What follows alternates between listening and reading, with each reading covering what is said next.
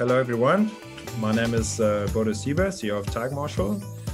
Uh, very excited to have you with us today um, for our expert session how FireRock and Whiskey Run have created exceptional play experiences while increasing efficiency through optimization play experiences important efficiency important optimization important making money is important. We're all in business right? And i'm very excited to have uh, two expert guests um, amanda cosentino and Luke Nieuwland from firerock and whiskey run. Um, how are you guys? Thanks for joining us. Yeah doing great. Thank you for having us.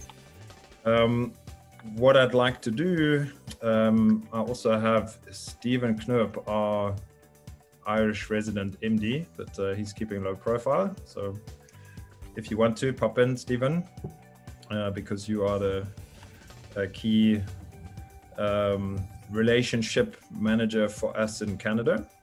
Uh, what I'd like to do is get us started with a quick introduction to um, our two guests. Um, ladies first, obviously. So, Amanda, why don't you do a quick intro to yourself and your operation as well? Awesome. Well, nice to see everybody.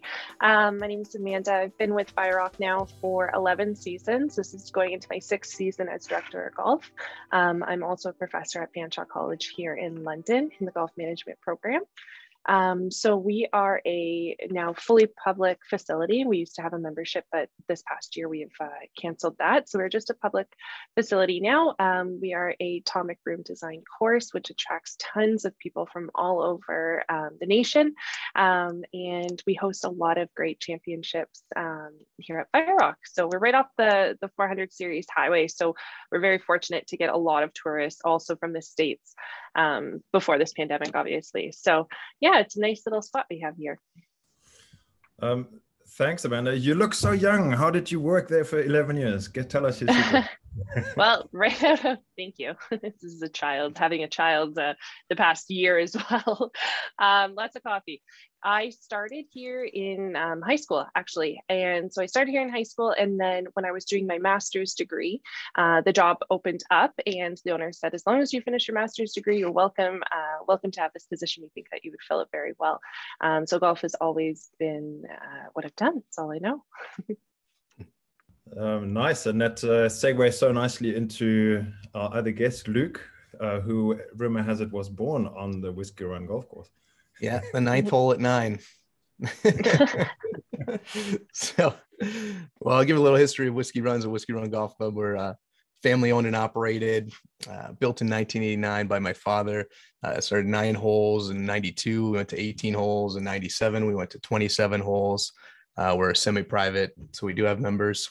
Uh, the the course gets its unique name. It's a pretty cool story. It's on a property that was actually used during prohibition during, uh, to bootleg booze across the border to the U.S. And the irrigation company that was actually putting in the irrigation um, uncovered a bunch of old whiskey bottles and ceramic and glass bottles, and actually wrote on the top of the plans "Whiskey Run," and that's how the uh, the name came about.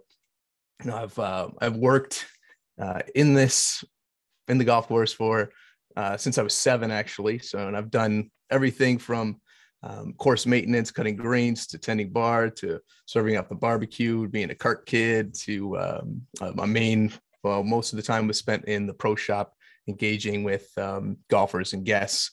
And as of late, my main role has been in marketing and using more of the analytics to uh, drive our decision making. Fantastic. Love the love the rebellion story that's behind. Uh, yeah, name. it's always great. Um, yeah, uh, brilliant. So, um, if you'll allow me just a, a quick introduction to what uh, Tag Marshal does. Um, let me find my slide. So, um, we are a golf course optimization system, basically uh, traffic management, if you will. Uh, we now have tracked over 20 million rounds, collected way more than a billion data points. I feel we need to update this every time I'm, i go online for a webinar because it keeps growing. And uh, we work with uh, you know, a few over 350 clubs. Um, in Canada, um, we've got uh, yeah, quite a, a, broad partnership base now with uh, FireRock Whiskey Run, but also British Green, um, Clovelly, Muskoka Highlands, um, St Andrews Valley, Pine Grove. There's quite a few. I think our first customer was, was Wooden Sticks or Summit, uh, so they're going quite a few years back. Uh, we're also very blessed to work with uh, some of the very best um, at your neighbors on the other end of the whiskey run uh, down in uh, in the US. So that your your I think it's 30 of the top 100, um, including your uh, Foot and Valhalla.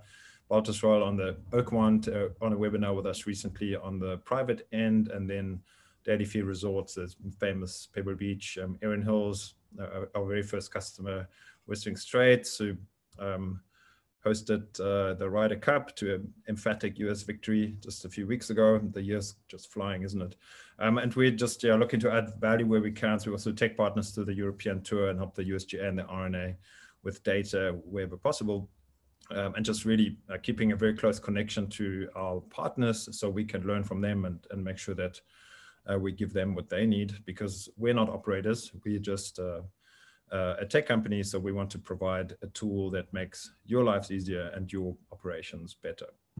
Um, so what we had to discuss today is uh, just a few uh, key questions. Which factors are key to creating exceptional player experiences? Because we're all serving players. Um, so we want to know what are they, uh, which ones matter the most, um, which new tools and processes have you at uh, FireRock and Whiskey Run implemented to optimize your operation?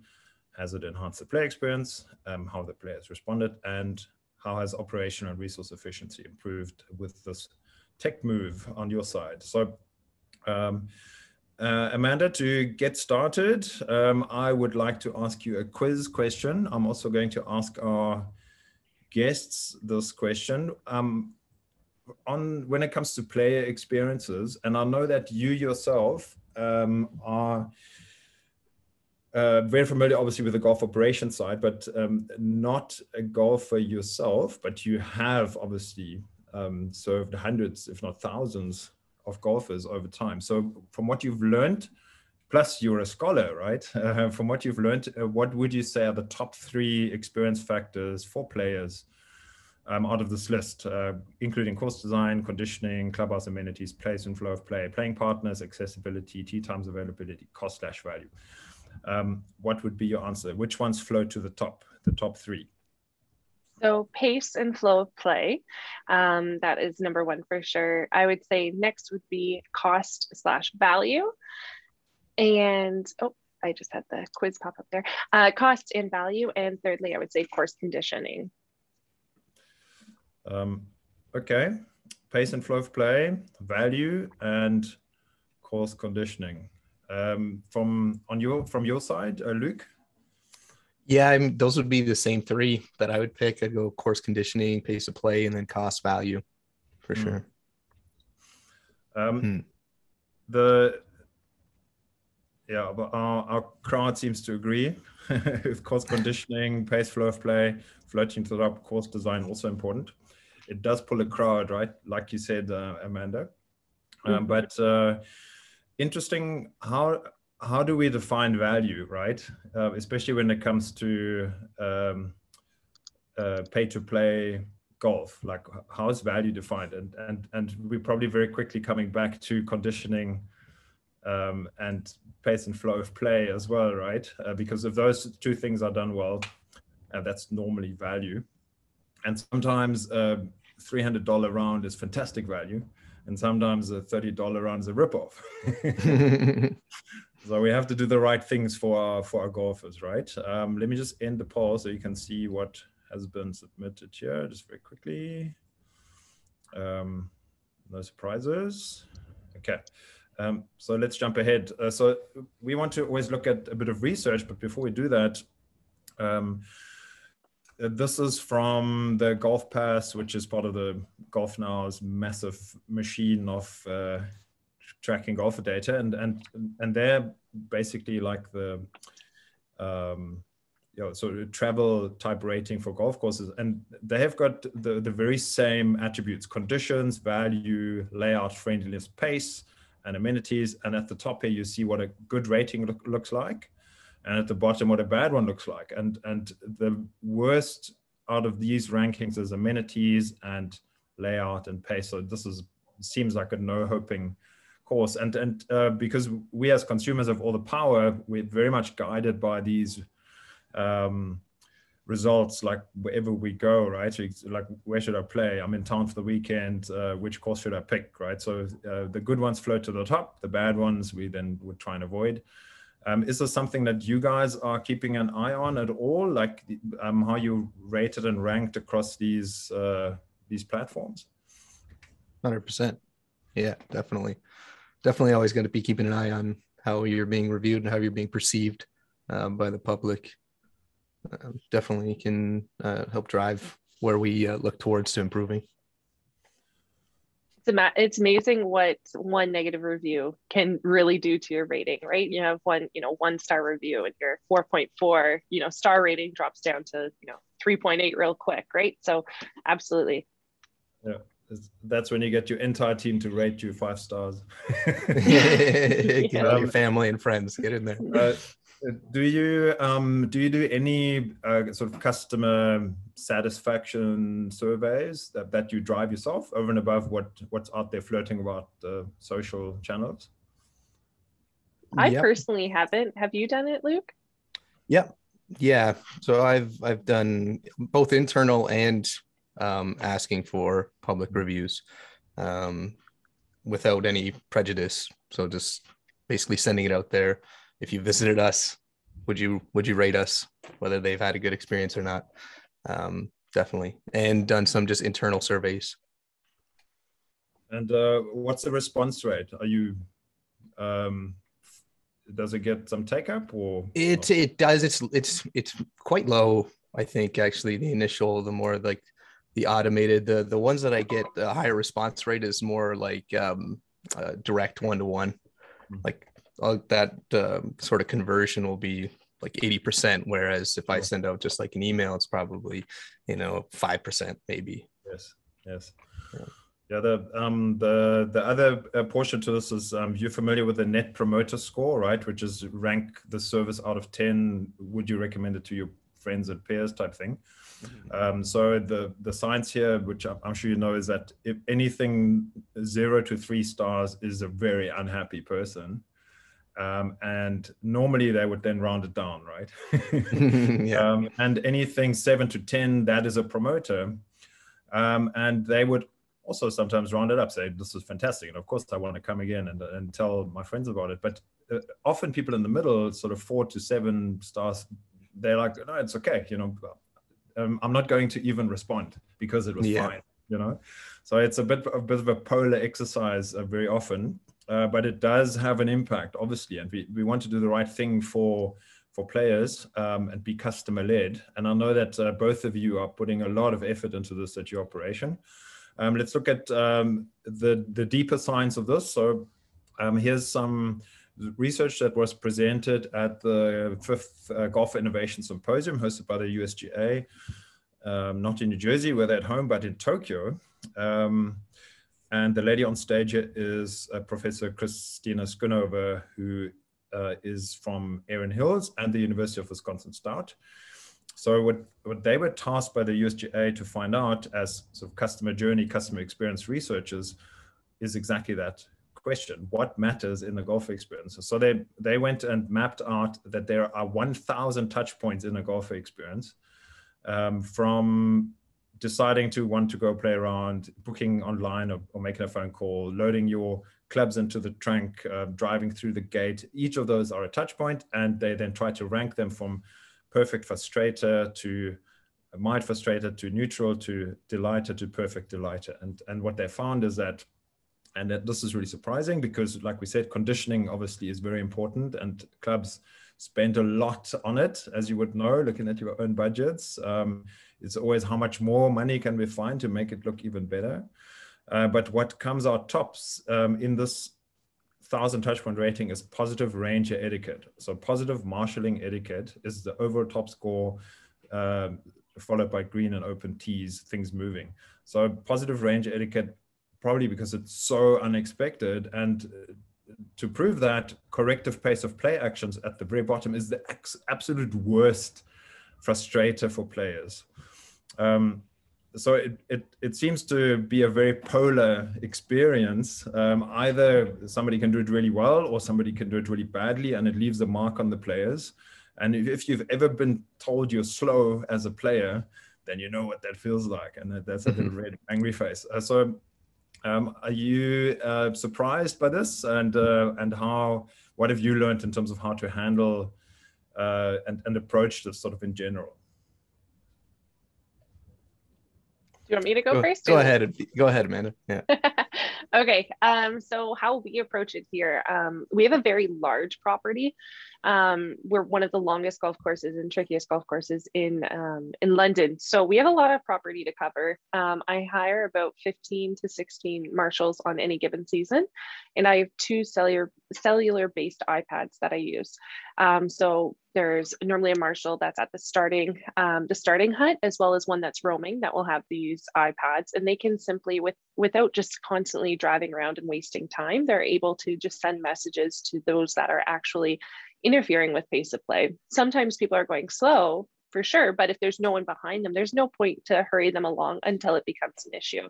You can send gentle reminders to on uh, the iPad software, so you're not actually becoming that like physical presence that some people can find off-putting. So that's how we do it here. Um, and my marshals are on average, I would say about 68 to 72 years old. Um, so if they can learn the software, that says something. so it was a little bit of a learning curve, but there's no issues. It was a two week process for them to really get the hang of it. So very enthusiastic about that. Yeah, that's very cool. I like. Uh, we don't have the one where you can send the the actual message to the cart, so that's that's really neat. I like that. Taking that mm-hmm. sort of what can be very uh, charging for confrontation uh, away yep. is good. That's really cool. Um, I mean, these these numbers don't surprise me at all. When you look at most of the negative reviews they do include some kind of uh, marshal ranger interaction. Um, so i could i could see how that would be uh, seen as one of the worst. Um, what we've done is um, try to uh, hedge hedge against that by using uh, tag marshal using the the magenta groups and having a sort of uh, routine for our player assistants that go out there. Um, instead of just coming up and being like, you gotta move along, move along. You know, you're slow. nobody likes that. So, uh, so there's a greeting, there's a gathering of some some data where they're from is their first time, the new golfers trying to establish a little rapport, and then basically asking for a favor. You know, if they are behind, can you do me a favor? Can you just catch that group ahead of you? We really appreciate. It. All right. So sort of making that first interaction, not really butting heads, but being being sort of collaborative. Um, Luke, I think that is positive range etiquette right there. So top scores yeah. for your team. Um, what's interesting is that how this juxtaposes because the other really negative sentiment is other people's speed. So anyone in front of me holds me up. I hate it as a, as a player, right? So I'll, I'll also complain about that. Um, and that's what I take away from my experience but don't tell me that I'm slow. So it is a bit of a conundrum, right? So to have data in this and real information um, obviously makes this a, a, much more even playing field. Um, so let's uh, let's look at what you guys have done in terms of the tools and processes that you've implemented to to optimize. Um, Amanda, I think you made a good point in that in the past um, you used to have uh, and spend a, or your team used to spend a lot of time getting out there looking for problems um, let's uh, quickly look at what the, the tag marshal system, um, how it works in terms of giving you that data and giving you that oversight. Um, so Amanda, if I'm not mistaken, you guys are using that, uh, the GPS um, uh, screen-based system, correct? Yes, we have the 8-inch screens on all of our carts.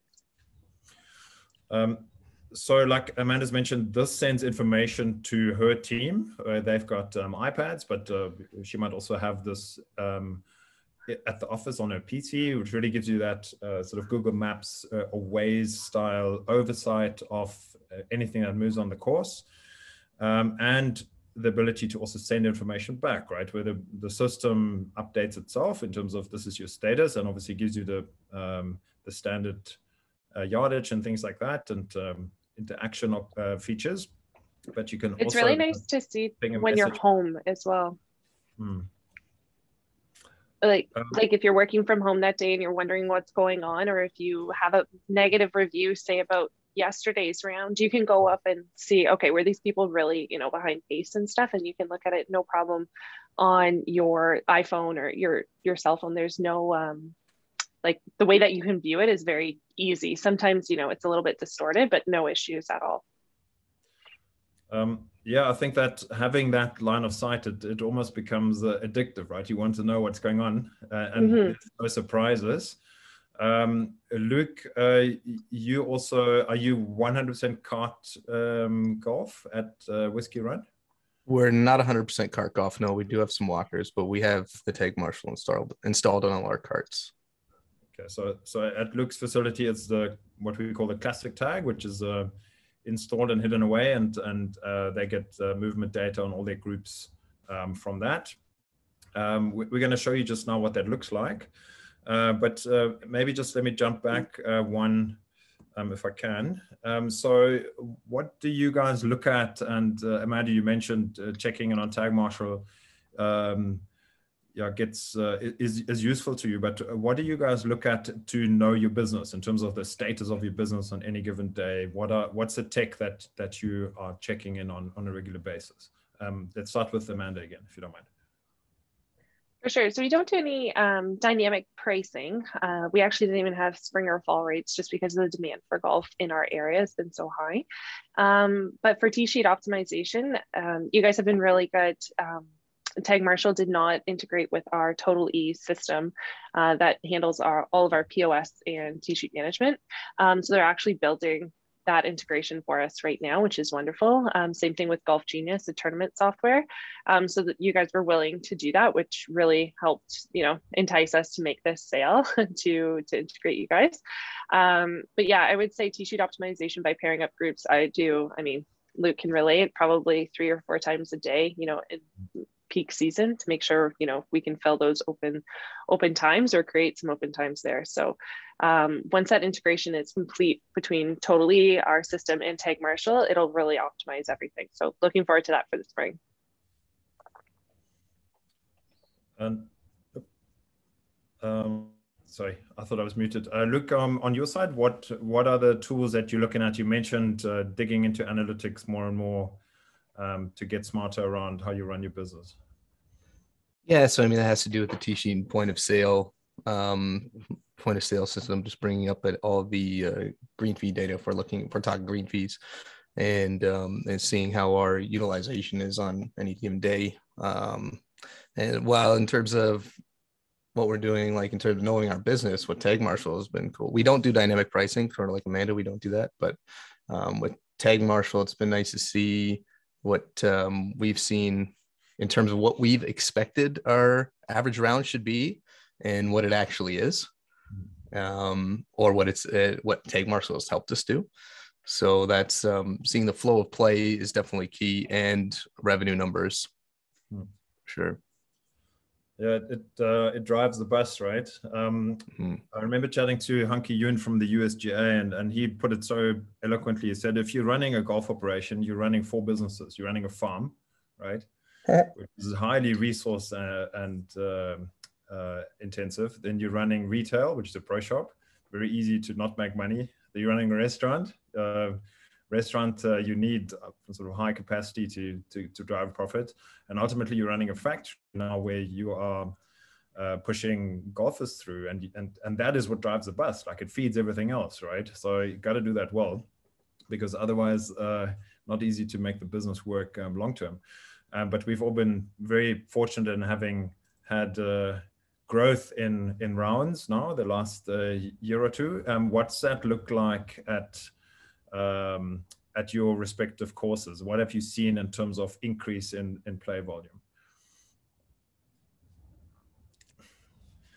You want me to go? I'll go. Yeah, yeah. Go uh, yeah. So we've seen about um, a 20% increase in rounds. Um, like it's funny, like you said, four I've I, I said the golf course is like eight businesses. You've got the mm-hmm. course itself, you got a retail shop, you got a bar, you got a restaurant, you run events, you do professional services in terms of lessons, you have landscaping business, you got e-commerce if you do that. It's just like all rolled into one. And you know, we have us as operators like trying to manage all this stuff. And it's um it's it's, it's a lot of fun. but yeah, in terms of rounds, we've uh, we've seen a 20% increase in rounds played, which um expected to have basically a uh, especially this year um now that we are like actually measuring the rounds played in terms of the time uh, i thought i thought for sure it was going to be a lot longer than it was. Uh, like we expect basically a four hour round but our average round was three hours 45 minutes and i think that has to do with uh, with a number of things and one of them being being tag marshal for sure and being able to hedge against those uh, slow groups um, before we look at the actual system and how it helps you um, make sense of what's happening out in the course. Amanda, you guys are really busy, aren't you? We're crazy busy, um, especially with you know the pandemic golf. It's just it's really been crazy. Um, so we've tried to optimize, you know, who's playing when they're playing, and try and figure out what that sweet spot is for tee time intervals. Um, with social distancing and all of the different you know things that we've had to handle with the pandemic that our government has imposed on us we found that um, 10 minute intervals were great right? They were working there's lots of time in between. Um, our tee, sh- shots are extremely hard here. So people oftentimes that are you know just playing here one time you know we don't have that membership base anymore. It's a lot it's a lot to handle. So we actually found that on our men's league days which were frequent flyers so to say of people that play here um, we were able to go down to an eight minute interval which means I know men's league doesn't start until three in the afternoon, but we could handle, you know, going cutting it down a little bit because the afternoon we would kind of, you know, pick up um, for any of those low times, and it it really helped us. So I wouldn't say an overall increase of say 20%, but it certainly helped us on those busier days. Uh, that's brilliant. And I love to hear those optimization stories uh, because it's all incremental, right? So wherever we mm-hmm. can tweak a little bit and get a little better, it actually in the balance has a huge impact. So in the top right um, is Fire Rock and the bottom right is Whiskey Run. Whiskey Run, we can see some blue vehicles. That is the some of your machinery, machinery right? And uh, your drinks carts and so on, which we're tracking as well. We're mm-hmm. going to talk about that um, a little bit later. But uh, um, Luke, you mentioned hedging against the magenta groups. Mm-hmm. Um, do you want to elaborate a bit? Uh, this is just an example because uh, I caught you guys too late in the season, so I couldn't get any live play screen grabs from from you guys. I think this might be um, the Dubsdread course at uh, over in Chicago um, at Cog Hill. So it's you still know how to manage this course, even though you've never been there. Just looking at this at a glance, right? yeah, yeah, yeah, definitely. Um, so with, with hedging against, basically what we've we've done is um, we've put a uh, like basically a 43 inch TV in the pro shop that has tag marshal on it. So as we come in, as my team comes in, um, we're checking that. We're seeing where those sort of magentos or potential trouble spots are, and and basically hedging against it, meaning we're going out there and meeting it as opposed to um, the typical would be would be like kind of driving around not aimlessly but somewhat aimlessly and having uh, whoever that person is their own perspective on what they think slow play is or what they think could be a potential problem which is usually way too late. So this way our team's able to be like okay we'll check on those spots see if there is a real issue there or if not. And um, before it comes an actual problem. Um, I, I think you're making a great case uh, for the uh, preemptive management, right? Where in the past and without this line of sight, you're always going to be re- reactive. And then you may find players that are held up by others. So in our world, our system calculates this, and the orange groups are held up by somebody else.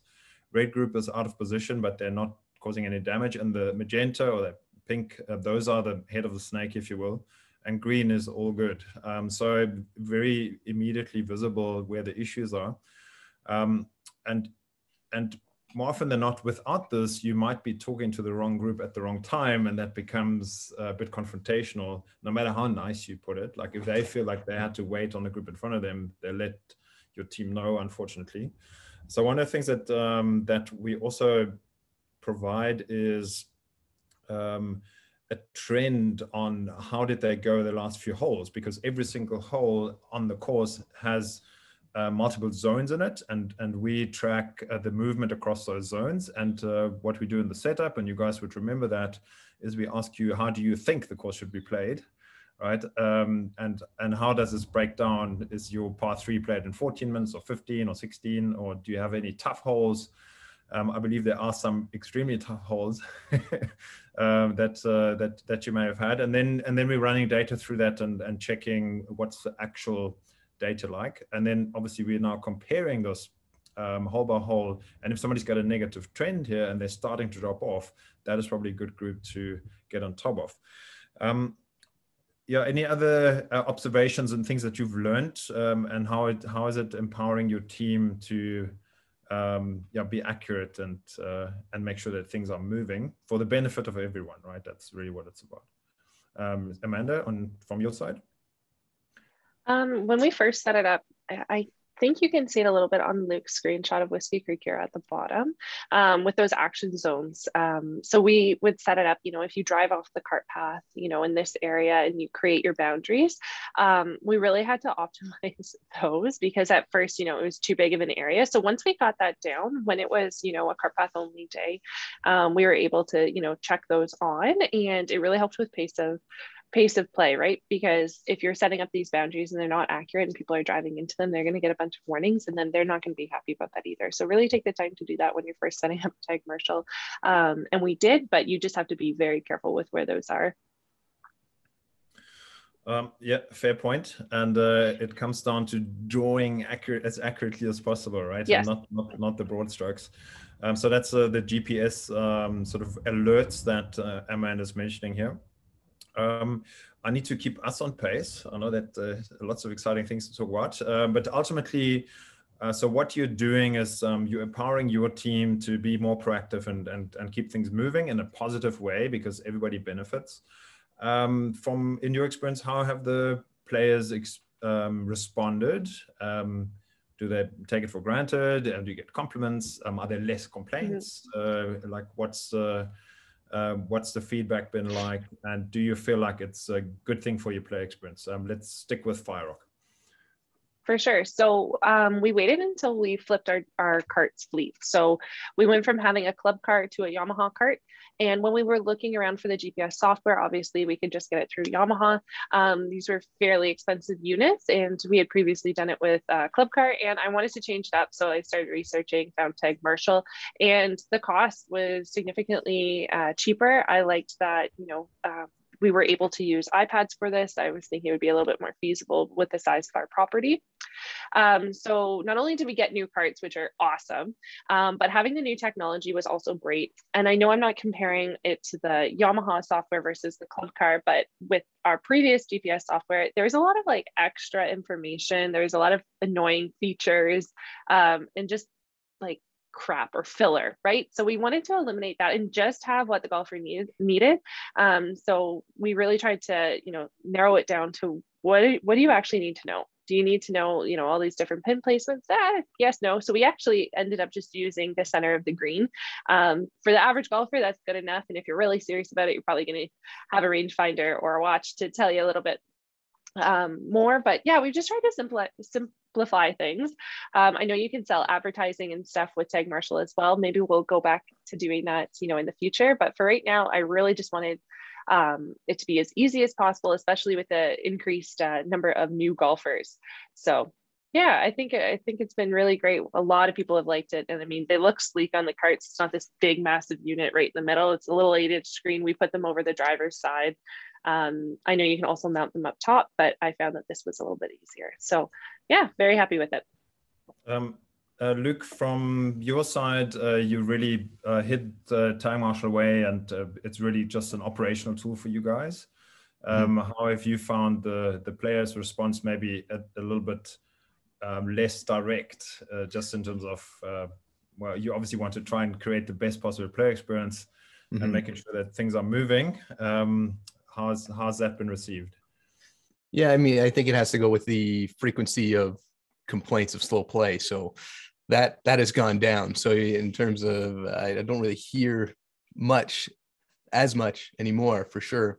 And looking at the data and seeing that uh, what we expected of an average round to be four hours it was actually three hours 45 minutes so it was actually 15 minutes faster than we expected even with the added play which would basically prove the point of why i'm not hearing as much in terms of complaints so um, i think the player experience uh, when you're not hearing the the complaints as much uh, the frequency you know that it's and you still have that amount of play you know things are going good. Um, yeah, brilliant. So this is actual data from FireRock. I think it's uh, July. So in July, your average round time where you're working towards a 425 came in at 413. Um, and it was busy, right? So I think this is a great result for you, and it shows how um, down here is distribution of pace. So how many of the rounds were quicker or significantly quicker to how many of the rounds were slow, and you are on 80% of your rounds are either fast on pace or within 10 minutes. And only a very small fraction um, are over. And this is a sorry this is a great result uh, just in terms of the data that's um, helpful uh, sort of in, in planning and reporting we're breaking down hole by hole and then the hole itself is broken down into three zones so normally we can then determine tee box wait times out of this which is quite important and we're looking at individual days and how they went and you can even drill into this and then look at all the tee off times on a day um, displayed in one of these graphs. So if you've I actually, I just looked it up. Three of those dates out of, you know, the six that are in red were tournaments. So it's really cool to see what's the mm-hmm. difference between a tournament day versus your regular, um, your regular day. So a shotgun tournament versus, you know, just your tee times. Um, and it's also interesting to see where you actually maybe have to adjust. I'm looking right now, okay, um, out of my 18 holes, I have to adjust a few of them that are par fives that definitely take a lot longer to play. Um, so it's really easy to adjust those times based on each hole. So some homework for me.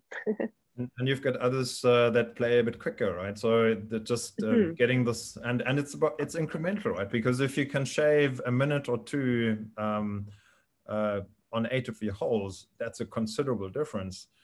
Um, and also one of the things that um, that's interesting to look at is how do how does our days run in terms of uh, versus goal time. Um, and you mentioned uh, uh, Amanda that your um, member rounds or you you call them frequent flyer if I'm not mistaken, uh, where obviously the players know the course well. You can they will mm. play quicker, so you can then tighten your intervals and uh, get more capacity out. So this is where um, the, the, data really helps you um, yeah, just get more out of your operation and just tweaking. Um, is this something, uh, Luke? I know this is early for you. You've been on the program now for five months, um, but I would, uh, yeah, I'm excited uh, at, at, what you're going to do in the future. Is this something that you're you're starting to look at from a sort of data deep dive point of view? Yeah, yeah. Like I haven't gone super deep into it, but um, even looking at just the hole by holes and what we expected uh, time length on certain holes, like it, it can be surprising um, especially on one of our par fives where I gave it, I think, 16 minutes or 17 minutes, and it was actually taking a little bit longer. Where a lot of the other holes were a lot lower. I was like, okay. And now I, I'm looking forward to getting more of the, the heat maps of it and seeing where those spots are. And uh, over the next few years, like really kind of being able to drill down is that's that's what's exciting to me. Yeah, the data is becoming more and more important in in our operations, right? Especially because the cost for everything. It's a necessity. Right. Yeah, for sure. Yeah. So have you seen costs rise? Um, yeah, in in and around the pandemic, and maybe with this increased traffic, uh, Amanda. Yeah, we've noticed a lot more on, say, the turf management side, um, the cost for pesticides, and you know all of our chemicals that we need for the course have gone, you know, 33%, 40% higher. It's been quite crazy for us. Um, and we just put a bunch of money back into, um, you know, new golf carts, updated our facilities here. So we've spent a lot during this pandemic. Um, but hopefully, you know, we'll see the returns with all of this new software and new carts and equipment. So mm. I'm optimistic. right. Um, yeah, getting more out of what you're doing. That's that's what optimization is about, right? So um, we want to uh, quickly talk about uh, operational resource efficiency, if, um, if you don't mind. Um, so Amanda, when you uh, you mentioned that you've got a marshalling, or maybe that's what might be broadly called an on-course operations team of 16 people. mm-hmm. um, that is, is quite a big number. Um, do you feel like um, uh, the system is helping you save hours? Um, would you need would you have needed more if it wasn't for it? Um, how is is are there any efficiencies that you are making real?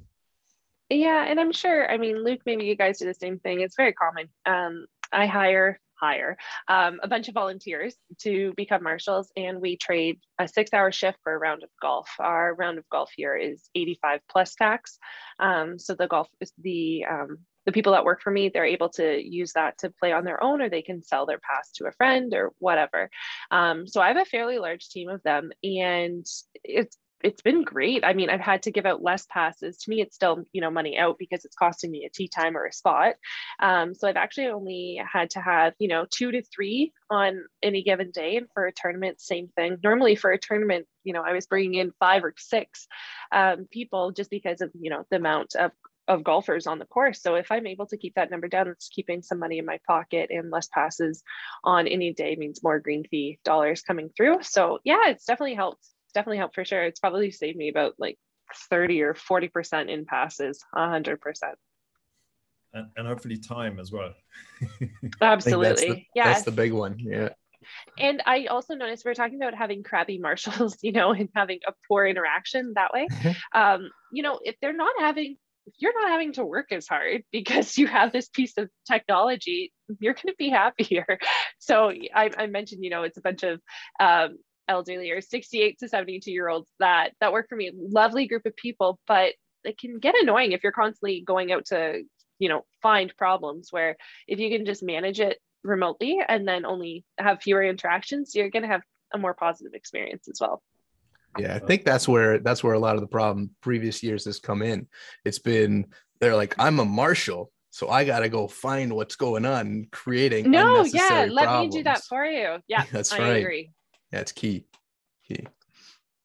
Uh, so Luke from a efficiencies point of view um, the, the the time and saving time and uh, not having to look for issues seem to have uh, yeah it's huge. it is it's huge. Yeah you don't have to uh, the time savers is, and then not having to run on the course yourself because previous years it'd be well let, let me go check. I got to go see what's going on and and and let's let's take care of this here. And now now you're not sort of running around aimlessly and it uh, what we're doing is taking most of the guesswork out of it.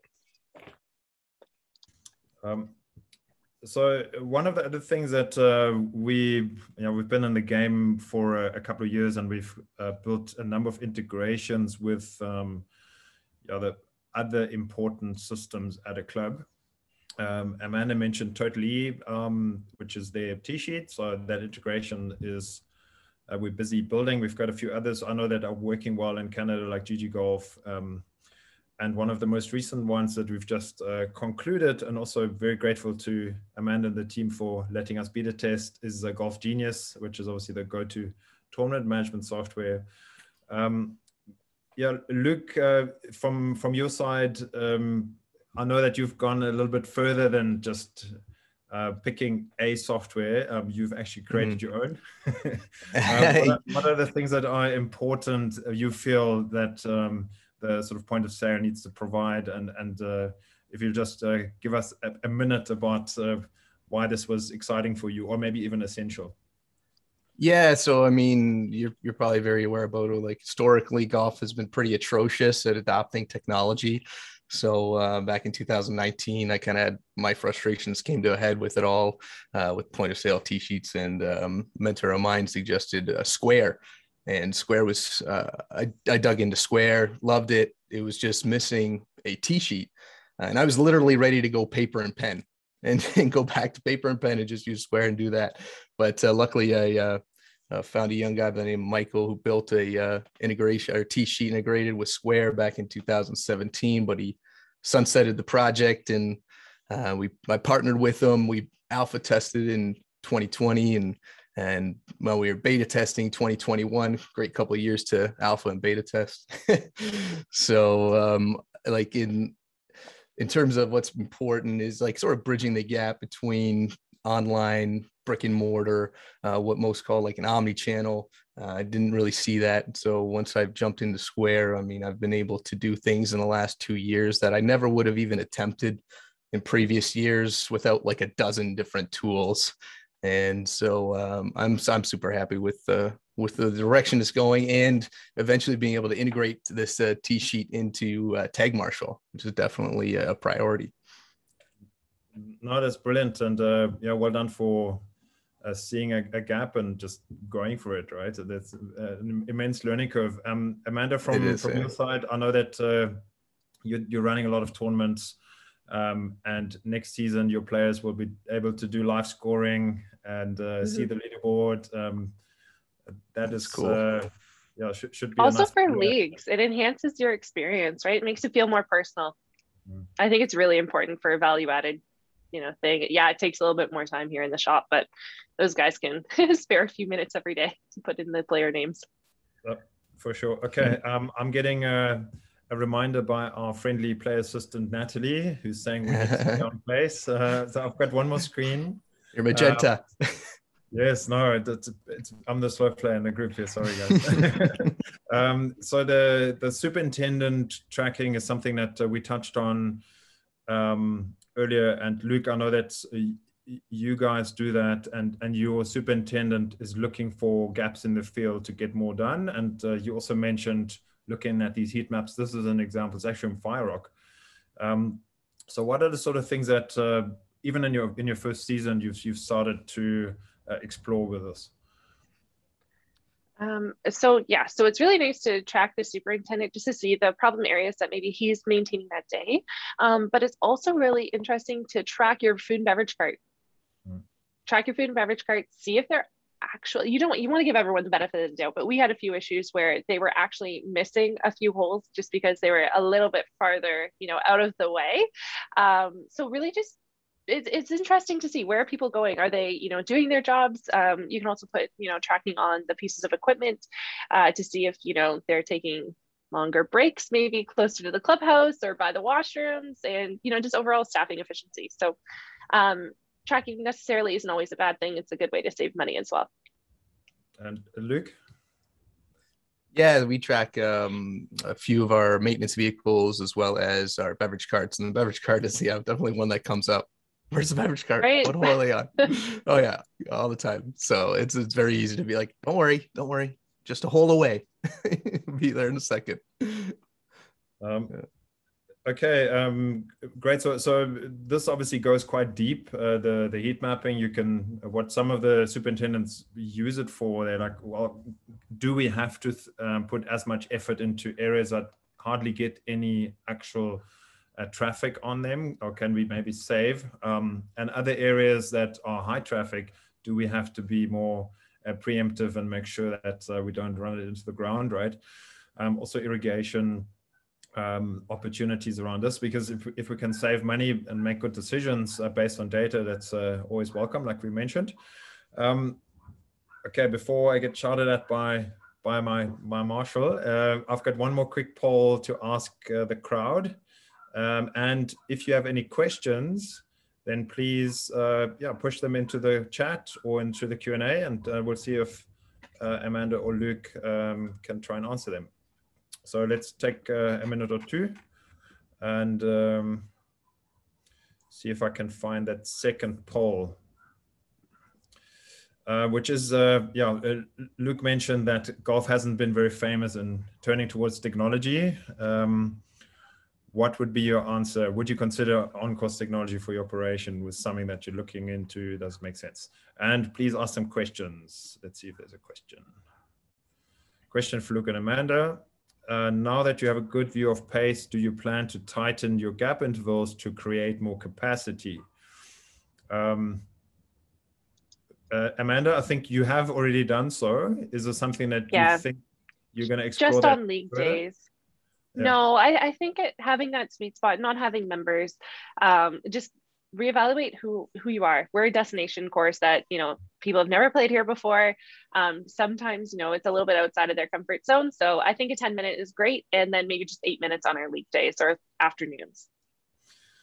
Um, Luke, um, same question to you. Is is there something tightening intervals, creating more capacity, maybe on your peak days? Is that something that you would uh, you would explore if it was possible?